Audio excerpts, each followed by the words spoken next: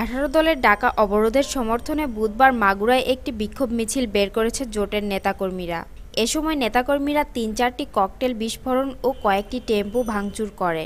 কেন্দ্রীয় কর্মসূচির অংশ হিসেবে বুধবার সকালে নতুন বছরের প্রথম দিনে মাগুরা জেলা বিএনপির সহসভাপতি মনোয়ার হোসেন খানের নির্দেশে যুবদল ছাত্রদল একটি বিক্ষোভ মিছিল বের করে।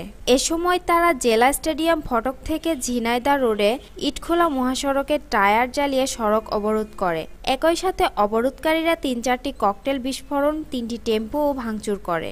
লাগাতার অবরোধের প্রথম দিন দূরপাল্লার কোনো যানবাহন চলাচল করতে দেখা যায়নি। কিন্তু শহরে টেম্পু, অটোরিকশা কিছু কিছু চলাচল করতে দেখা গেছে।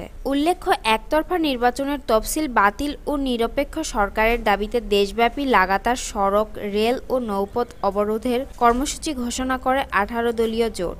এরই পরিপ্রেক্ষিতে মাগুরায় আঠারো দলীয় জোটের নেতাকর্মীরা এ কর্মসূচি পালন করছে।